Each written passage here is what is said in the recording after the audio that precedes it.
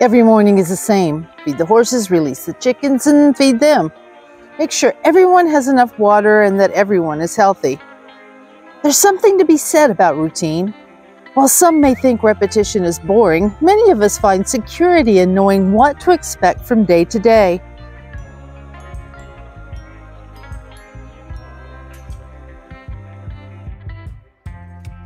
That doesn't mean that I don't enjoy a happy surprise, such as a warm day in February or a phone call from my grandchild. But there is comfort in the same old, same old.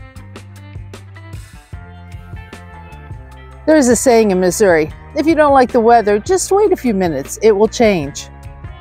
This week started out with unseasonably warm weather. Today was sunny and the temperature got up to 67 degrees Fahrenheit. This kind of weather can make you want to plant something into the garden, even though you know this is fall spring and anything you might put into the ground will die when winter comes back with a vengeance. So, no planting in the ground for me today, but that doesn't mean I can't get some seeds into the soil to sprout inside. Most of my garden won't go into the ground until after Mother's Day, but I can start my cool season seeds such as lettuce, celery, and brassicas. At least I get to play in the dirt. After these seeds are planted, they will go into the house to live under the grow lights until late March or early April when they will be transplanted outside. For supper tonight, I'm fixing one of the farmer's favorite meals, chicken chunks. We've been raising our own meat birds for three years now, and this bird will provide enough meat for at least two dishes and some chicken stock. The breast will be cut into chunks to be breaded and fried. The legs, thighs, and wings will be made into something, probably chicken and rice casserole or salsa chicken in the next day or so. And the rest of the chicken will be made into chicken stock to be canned for future use. The farmer and I really like these chicken chunks. It's another lovely, if unusual, February day.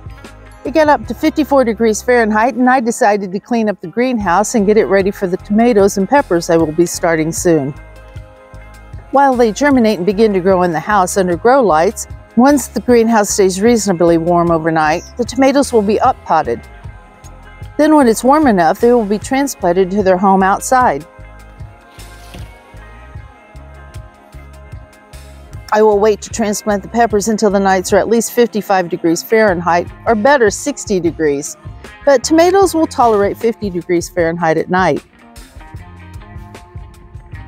During the spring, this greenhouse will begin to look like a jungle as I cover all the tables with plants. I love being in the greenhouse when it gets lush with promises of future food. The farmer moved some horse hay closer to the horses for me to make it easier to feed. We bale Bermuda hay in round bales and the farmer usually puts out a whole bale in the feeder about once every three weeks. Because of their shape, round bales shed rain and can be left outside safely. However, we've been through two summers of drought and only got a few bales of hay this past year, so we had to purchase hay from out of state to feed the horses over the winter. We found some brome hay in Kansas and had it shipped in. We were very happy to find this hay, but it was baled in large squares and does not shed water. And we don't have a hay barn to keep it in, so we stack it high and cover it with a tarp to keep it dry. One of these bales will last about a week, but we have to feed a few flakes daily or at least every two days because if it gets wet, it will get ruined. So the single bale is covered by another tarp to keep it dry throughout the week. We've been getting a few rains off and on this winter, but we'll really need rain in the spring and summer in order to get a good cutting of hay. We've already had to sell off most of our cattle because of the two-year drought. Hopefully we'll be able to produce hay this year for the animals we still have. After two lovely days of fall spring, we woke up to snow today. It is February and this is the weather we're supposed to have, but I was really enjoying temperatures in the 50s and 60s. I even got to hang out clothes the other day, which I dearly enjoy doing. I am thankful for my dryer, but I really enjoy clothes that have been dried outside. I don't expect I will be doing much outside today. I hate being cold.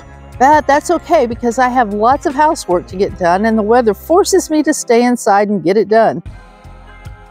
I also need to deal with the rest of the chicken and I've decided to make salsa chicken. You can make this in the crock pot with boneless, skinless chicken breasts. But since the breast was made into chicken chunks, which was delicious, I'm going to pressure cook the wings and leg quarters to get the meat off the bone more easily. I really don't like deboning legs, thighs, and wings that are nearly impossible to do raw. After the chicken is cooked and the bones and skin are removed, I mix the meat, salsa, vegetables, and soup into the pot with some taco seasoning and then some rice. Then I simmer this until all the flavors come together for a delicious stew that is perfect for a snowy day. Even though we woke up to snow yesterday, the temperature was 33 degrees Fahrenheit. Today it's 16 degrees Fahrenheit. Extreme temperatures are the downside of homesteading. When it gets down into the teens, the water for the animals will freeze. Water is kind of important and we must break ice so they can get a drink. This ice is only about a quarter of an inch thick and the horses can push their noses through it. And we also have a water trough inside the horse hut that doesn't freeze as quickly so they haven't had to go without. I can't imagine living in the north where below zero temps can run for a month or longer at a time. Bless those who live in the north and have to take care of animals.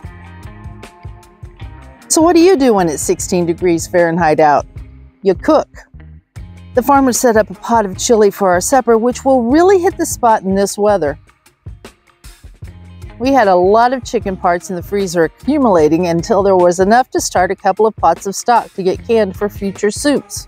In addition to the chicken, I added onions, including the skins, which will give the stock a beautiful color and extra nutrients. I also added some freeze-dried celery I made a few weeks back when I bought a stalk of celery on sale. I should have bought more than one stalk because I used nearly all I had. Freeze-dried vegetables are nice to have on hand in case you decide at the spur of the moment to make a meal that needs an ingredient that you don't have on hand fresh. I also added some canned carrots and the liquid they were canned into the stock. I canned a lot of carrots a couple of years ago and it turns out we don't like canned carrots, so I've been adding them to soups and have freeze-dried a lot of them. Rounding out the ingredients that are going into the stock are a few bay leaves and some minced garlic. Between the chicken stock and the chili, this house smells amazing. We let the stock simmer for about 24 hours, then strained it and cooled it in the refrigerator overnight. This way the fat comes to the top and solidifies so I can skim it off the top. Look how much gelatin is in that beautiful stock. Then it goes back onto the burner to bring it to a simmer so it will be ready to pressure can. Meat stocks are a low acid food and they must be pressure canned and they need to be hot packed. Hot packed means the food, the jars, and the water in the pressure canner must be very warm. I've run the jars through the dishwasher to not only get them clean, but to get them hot and ready to fill with this delicious liquid. After processing the jars at 11 pounds of pressure for 20 minutes, I have 23 beautiful jars of chicken stock I will be using for soups, stews, and other dishes. Thank you for stopping by the Old Mayfield Place today. Stay prepared one step at a time and have a blessed week.